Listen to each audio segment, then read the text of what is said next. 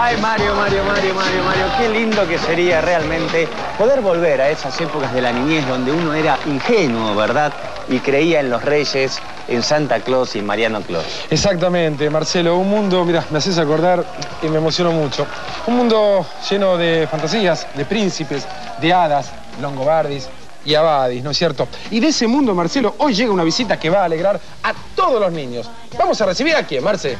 Vamos a recibir a una invitada de Luxor. Está con nosotros aquí en el estudio la princesa Sisi. Hace ingreso a nuestro estudio acompañada de Sushi. Adelante, por favor. Exactamente, la princesa Sisi que ya está acá con nosotros. ¿Cómo estás? Buenas noches, muchísimas gracias. Eh, acabas de llegar al país. Sí, sí, Ajá. Eh, vos fuiste seleccionada entre más de 300 postulantes.